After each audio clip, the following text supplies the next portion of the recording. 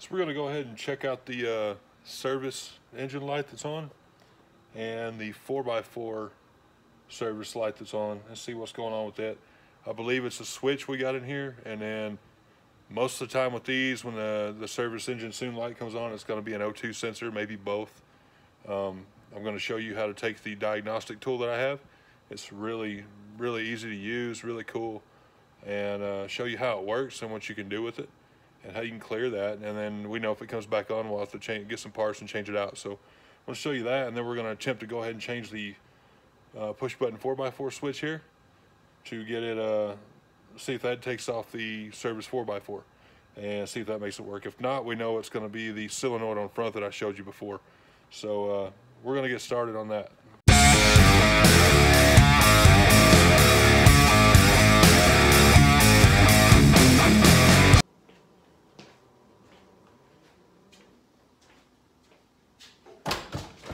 On the vehicles. Um, I've got a little scanner I bought. I'm actually going to have to go online and see if they still have this or probably a new version of it or whatever. But I got it on Amazon uh, three, four years ago. And uh, it's a pretty good deal. I've used it on my wife's old Yukon. I used it on a 98 I used to have, 98 Chevy. Uh, I used it on a few work trucks to fix them. And uh, it's just a good scanning device and it allows you to go ahead and uh, delete the code if you want to and get everything fresh and give it a new start. And uh, if you change a part out, you can just go ahead and reset it. So it's a pretty good deal. So it's this here, if you can read, it's BAFX, BAFX, BAFX OBD2. You just plug it right down in the bottom of your OBD2 here and it starts to light up and then you go there's an app called Torque, and you can look it up, and uh, it, it, pretty much shows everything you got. It shows everything from all your trouble codes to diagnostics to anything like air temp, fuel pressure, the whole nine. Um, it shows that you can tune, but it's got stuff that you can you could purchase to upgrade. I don't know how much you'd actually be able to tune with it.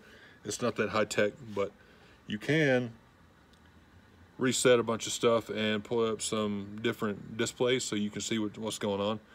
And so it's pretty neat. It's worked really good for me over the years. So we're gonna go ahead and uh, I'll show you where this thing goes and uh, we'll get it plugged in, see if we can do a good scan on this thing. Okay, so if you take a look here, I'm plugged into the OBD2. Pretty simple, it's lit up red now. So we're gonna go over and check out the device this old phone of mine we've got it hooked to. And we're gonna go to this app right here. So it's Torque Lite. Just go ahead and bring that up. It'll always tell you some dumbass message and then you get on, you're good to go. So what you need to go ahead and do is turn your vehicle on.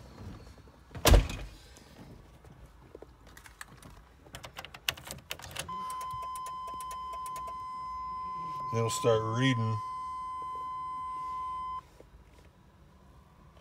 So we've got, I'll go ahead and turn it on.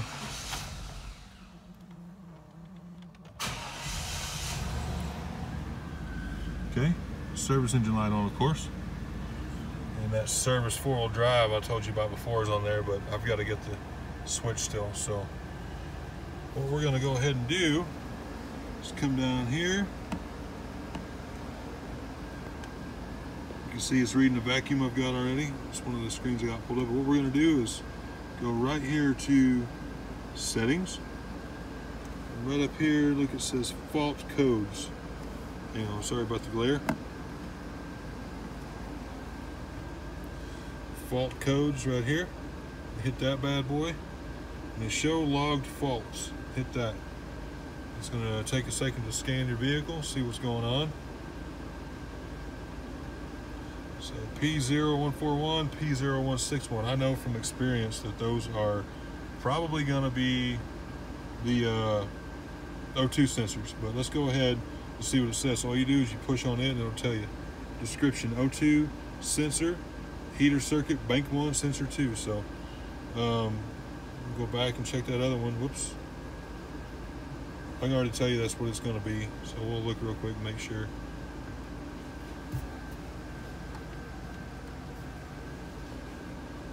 Okay.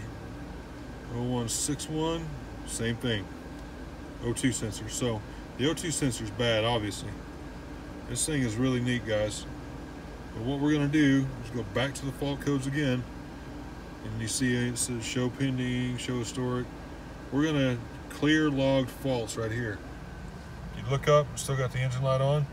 So what we're going to do is go ahead and hit clear logged faults. And it tells you you should only perform it if the fault's been fixed, blah, blah, blah. If you just really want to see that's what it is, I clear it out. If it comes back on, scan it again, same thing comes up, you know that's it. So we're gonna go ahead and say okay to it. And it's gonna clear it, and right then, you see how quick that was? That light went right off. So the service four-wheel drive is still on, and it's gonna be that way until we get this nonsense down here fixed. So uh, that's it for that, guys. That's simple. And I've done this on changing different mass flows and stuff. It throws up codes or uh, anything else you want to do. If you've done some kind of mod to it or you've been messing with it, you can use these things. It's got all kinds of different displays you can use. So pretty cool. Pretty cool deal. So that part's done.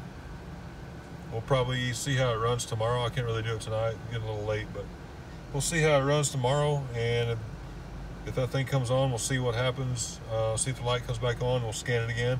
If it's the same thing, we'll do an O2 sensor video. Well, my uh, daily driver on a budget has officially become my daily driver, and I am on a budget. So, uh, due to some uh, idiots up high in the company I work for, I'm not going to name any names of the company, but a bunch of dumbasses ran it to ground, so they chose to take our trucks that we use daily to work out of to, well, I don't want to give any more info than that. They chose to take them and make us drive 50 miles one way out in the middle of nowhere. So I'm officially driving the Suburban to work. As you can see, cruising right now. Engine lights on, 4x4 is still on, but we'll get all that straightened out. But be testing the mileage now, see how it does.